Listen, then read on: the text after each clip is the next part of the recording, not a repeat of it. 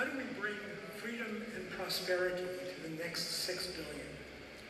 Well, here at Mont Pelerin, we all appreciate that the nature of institutions matter. I'm going to explain how smart contracts built on blockchains gives us the opportunity to build institutions that can provide freedom and prosperity in a way that is more universally available, more, more affordable, more transparent, more incorruptible than anything we've been able to do by any means previously. India has taken an enormous first step. Uh, India leads the world in cryptocurrency adoption, despite a hostile regulatory. I'm no stranger to hostile regulatory environments. As Chris mentioned, I've been involved in uh, hypertext as well as smart contracts. In fact, I'm doing decentralized cryptographic hypertext and smart contracts back in the 1980s.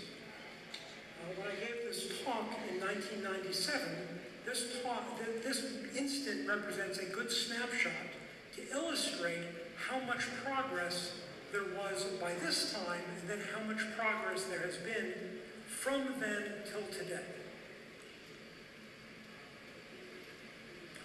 So in 1997, the web was already big enough to have an impact on civilization. It's already big enough to create a freer, freer and more global speech than we had had previously. That, that regular people could communicate uh, through, the, through the written word in a way that was um, much less constrained and much more universally accessible than had ever been available before. But 1997 was still in the era of, crypt, of the U.S. cryptographic export controls, where the U.S. government was trying to maintain their ability to surveil everyone by suppressing cryptography, especially suppressing the cross-border use of cryptography.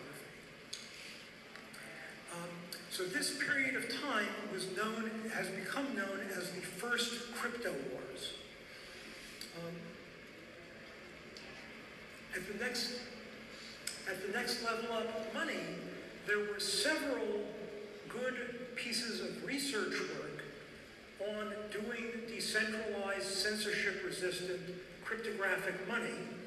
Uh, Hal Finney was, in 1997, Hal Finney was the speaker after me at that conference. Hal Finney then went on in later years to work with Satoshi to, to build the first Bitcoin. The problem was that as of that time, none of these were ready for real-world deployment yet. They were interesting academic exercises. The smart contract layer, uh, Nick Szabo, myself, and others had made some interesting progress.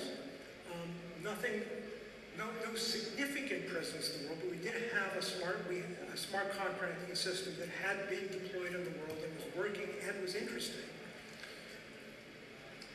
But the, and I'll be explaining later in the talk what I mean by smart contracts. But as you would expect from the word contracts, contra smart contracts should be a foundation for building institutions.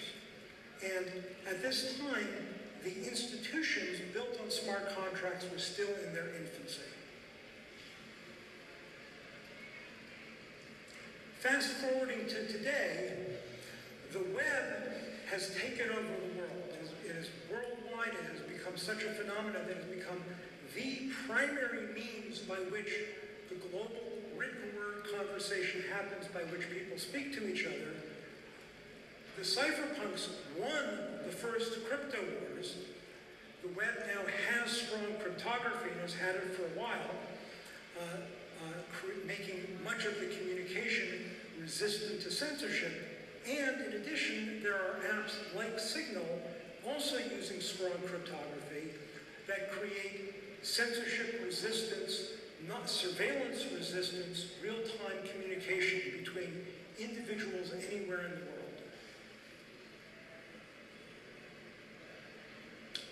Starting with Bitcoin, we now have a variety of cryptocurrencies, very well illustrated in Larry's talk, in which these are different approaches for creating, again, censorship-resistant, non-governmental money that are different approaches that have the potential to give us sound money. Um, and you can argue about how sound any one of them are, but the main thing is there's lots of different experiments.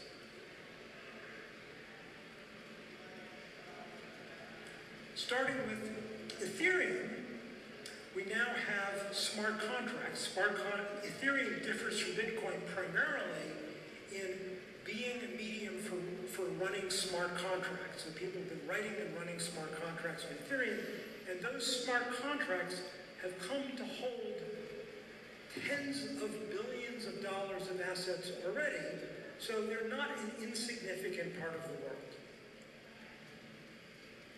However, even with all of that, the institutions built on smart contracts are still in their infancy. We're still in early days. So, finally, what do I mean by a smart contract? A contract-like arrangement expressed in program code where the behavior of the program enforces the terms of the contract.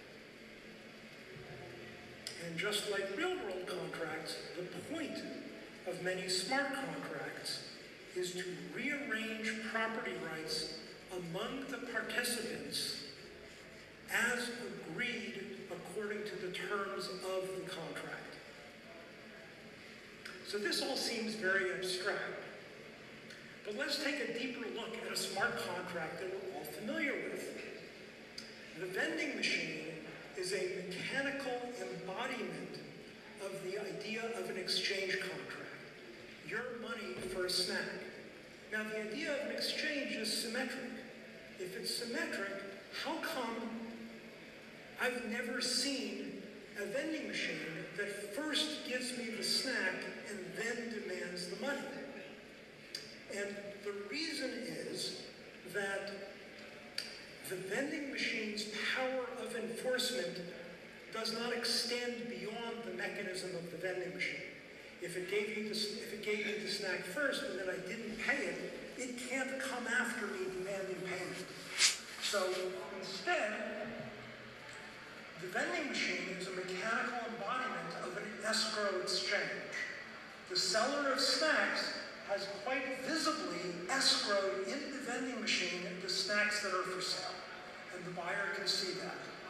When the buyer puts in the money, once the vending machine has successfully escrowed both the snack and the money, then it has all of the enforcement powers needed to the exchange.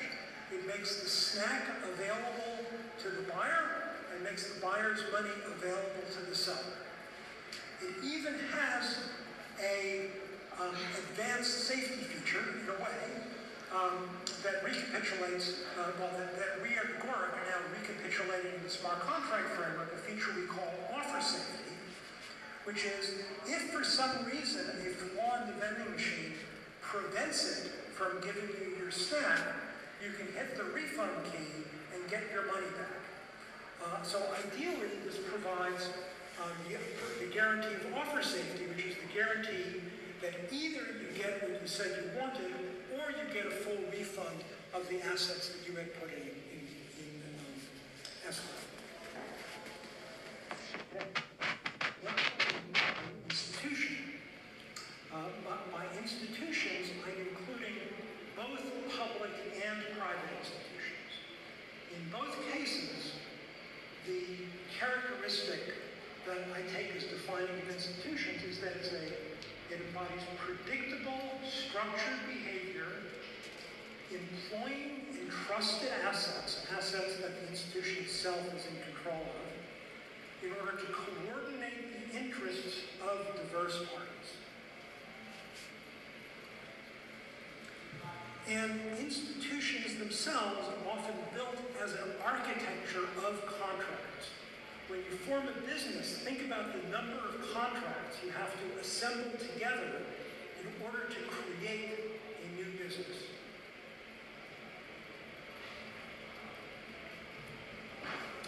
Institutional forms themselves are an important technology, and much of the progress of humanity has been due to the innovation and evolution of institutional forms. Until the last few centuries, when humanity built large-scale institutions, these were generally just means of oppression. It's only been within the last few hundred years, with the discovery and evolution of the elements of rule of law, that public institutions have come to be better aligned with benefits to their citizens. And likewise, for private institutions, the discovery and evolution of these forms of internal controls within companies have enabled us to build firms that are much larger than was, was previously practical, while, the, while these large firms continue to serve well the interests of their various stakeholders. A general theme across all of these elements is that they, these are ways of dividing power and then recomposing the divided powers back together within a framework of rules. However, even with all of this, all this glorious history of discovery and invention, it's not good enough. There's, you hear much talk about the crisis of trust in institutions. The reason for the crisis of trust in institutions is our large-scale institutions have proven not to be trustworthy. Can we do better?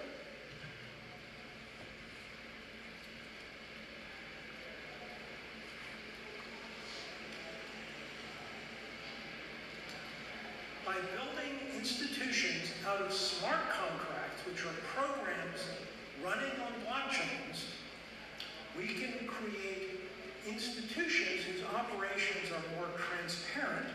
Every transaction is itself visible on a public and immutable ledger. Predictable, the contracts themselves are programs that you can read and you can run in simulation to see what they would do in hypothetical scenarios. Incorruptible, think, think about how hard it is for anybody to corrupt Bitcoin. Essentially, no, no individual or small small group is in a position to corrupt the continued execution of these smart contracts running on blockchain. Uh, universal, these things completely do not recognize national borders, they do not recognize jurisdictional boundaries. This basically creates a system of rule of law that transcends and cross-cuts everything else we call law. Uh, and affordable and neutral. What we know from the history is that each one of these dimensions contributes to the health of institutions. In this new substrate, we have the potential to be significantly better on all of these dimensions simultaneously. However, it's not just all roses. In addition to these strong advantages, there are also some significant disadvantages in this new. Uh, transparency, interestingly, is in both columns. On the positive side, um, sunlight is the best disinfectant, makes these systems even more incorruptible. On the negative side, the visibility of all transactions on a public ledger is a tremendous loss of privacy, which itself is a threat threatens our liberty. Now, for all of these disadvantages, including transparency, there are people working on technological solutions. Um, oh. Ah, sorry. Um, that was that was the second column. Um, um, for all of these disadvantages, including transparency, there are people working on technological solutions like privacy protecting cryptography pioneered by Zcash. But the, the But today, these disadvantages are the reality that, that, that we live with when we're building smart contracts in institutions today. Um, so, with these surprising advantages and surprising disadvantages both, this medium is a, this substrate has a novel character. It's very hazardous to try to reason about it by analogy. Hypertext is not just faster paper. If you reason, if we try to reason about hypertext as, well, it's just like the world of paper, but faster, we would miss most of the phenomena. We're creating this new substrate has a novel character. We need all of you uh, skilled institutional analysts who can think about these things to under- help us understand the nature of this novel character and how to use it well. Now, the most surprising disadvantage in this slide, or the most interesting disadvantage in this slide, is the unforgiving. When there's a bug in a smart contract, hundreds of millions of dollars can disappear overnight with no recourse. And as we, and smart contracts being programs uh, can have bugs that can misbehave. So, as an example of the kind of institutional design that we find ourselves doing as we build on top of this new substrate, let me explain um, a an approach to this that we're exploring at Agoric. Um, the danger from bugs is really a special case of the danger from ignorance. That the, the whatever the contract is, it's a program, and the computer will do what the program literally says. But the people participating in the contract, for any of a variety of reasons, might misunderstand what the program literally says and think that the contract means something else. So this is the risks from ignorance. And these risks go down over time. When a program is first released, it tends to have the most bugs as people read the code, file bug reports, um, talk to each other about it, uh, and most of all, for smart contracts, observe what the emergent behavior is under adversarial playtesting with real assets at stake.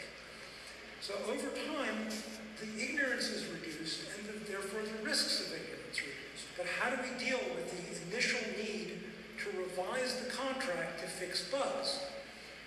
So at Agoric, when you, when you instantiate a contract, when you deploy a contract onto the blockchain, you do it attached to a governance arrangement for the decision to upgrade the contract, essentially the equivalent of a new release of software. In this case, you're, you're taking new code and upgrading existing running contracts with their escrow user assets to now continue running according to the new code.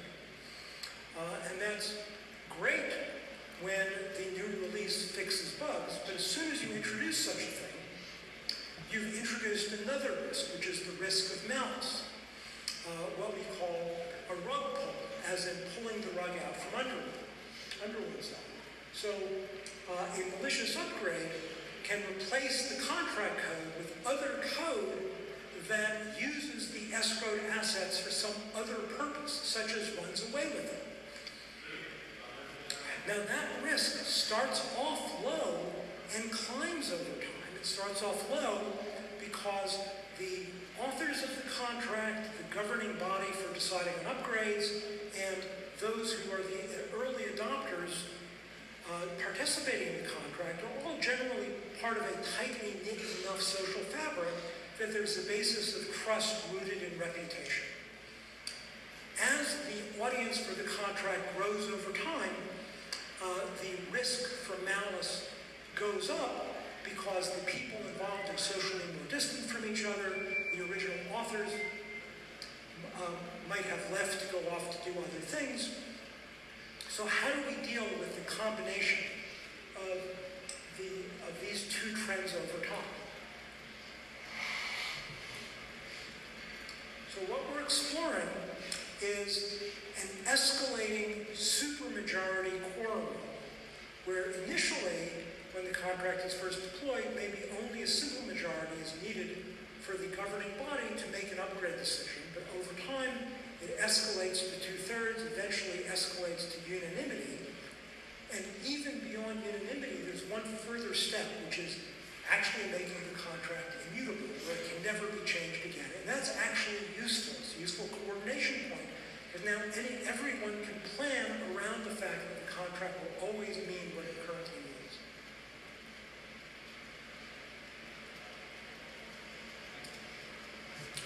So a lot of these contracts, uh, a lot of these institutions won't work.